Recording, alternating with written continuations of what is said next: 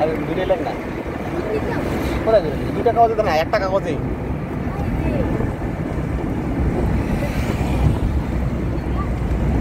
পাশে লিখতে পারলে